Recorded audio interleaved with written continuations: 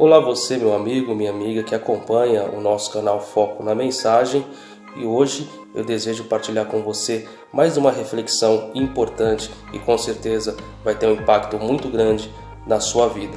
Antes da gente falar um pouco da palavra de Deus, eu quero apresentar a você os meus dois livros, meus dois lançamentos recentes que têm abençoado muitas pessoas, das quais já adquiriram.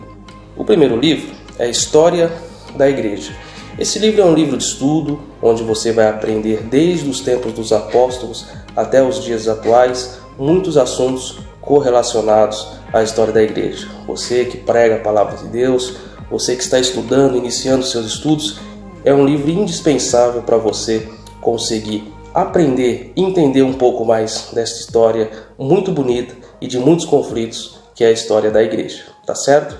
O segundo livro é um livro mais devocional é o livro Quando Não Somos Culpados. Esse livro tem sido uma bênção tanto no Brasil como na Europa. Em algumas pessoas já têm é, falado muito a respeito desse livro, testemunhado o que Deus fez através da compreensão da leitura desse livro. É um livro desafiador, um livro que vai trazer coisas do dia a dia, explicar situações do dia a dia que com certeza você vai ser renovado com a leitura desse livro. Não perca a oportunidade de adquirir também quando não somos culpados. Tanto o livro Quando Não Somos Culpados quanto o livro História da Igreja são livros que você pode adquirir tanto nas nossas mídias sociais ou, se preferir, entrando em contato conosco. Tá joia? Agora vamos meditar um pouco na palavra de Deus. No livro de Números, no capítulo 20, no versículo 1, nós lemos o seguinte: Chegando os filhos de Israel, toda a congregação, ao deserto de Zim, no mês primeiro, o povo ficou em Cádiz. Ali morreu Miriam e ali foi sepultado. Eu não quero falar de Miriam propriamente, mas eu quero falar de um assunto muito importante. Se nós pegarmos com o tempo e fazermos a leitura de todo o contexto deste versículo, nós vamos perceber que esta morte de Miriam ocorreu no quadragésimo ano do povo no deserto, ou seja, no último ano no deserto. Não só Miriam, como Arão e Moisés, também neste último ano no deserto, padeceu, morreu e não entrou na terra prometida. É bem verdade, vocês que estão me assistindo conhecem, que já havia uma profecia lá atrás de que aquela geração não entraria na terra prometida. Então, logo, a palavra deve se cumprir, como a própria palavra de Deus, que Deus não é homem para que minta, nem filho do homem para que se arrependa, ele tinha que zelar pela sua palavra. E aconteceu. Ninguém daquela geração entrou na terra prometida. Mas o que é engraçado é que isso aconteceu no último ano no deserto. E o que eu quero dizer com, com isso?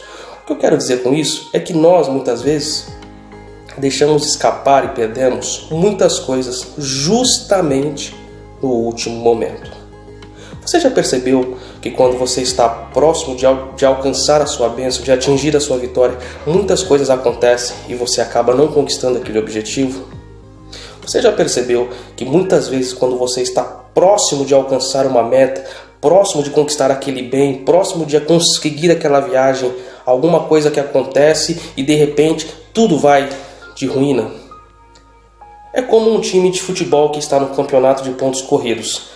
Você já percebeu que quando o líder do campeonato está faltando duas rodadas para acabar o campeonato e ele é o líder do campeonato, você já percebeu que ele se sente mais pressionado quanto aos que estão atrás e às vezes não suportando a pressão acaba perdendo pontos e quem está atrás acaba ultrapassando e ele no último momento perde o campeonato? Na vida é do mesmo jeito. Nós temos que prestar muita atenção no último ano do deserto. O que Deus quer falar com você? Para que você preste atenção no caminho, para que você tenha sabedoria, para que você entenda que quanto maior é o investimento do inimigo contra a sua vida, significa que ali está o último momento. E se você não ter sabedoria, você pode acabar sendo lesado. Não permita que a tentação, que os problemas façam que você perca no último momento a sua vitória que no último momento você perca a sua bênção. Não que você vai perder de fato a bênção, porque o que Deus prometeu ele cumpre. mas não permita que no último momento você venha a ser surpreendido pelas artimanhas do nosso adversário.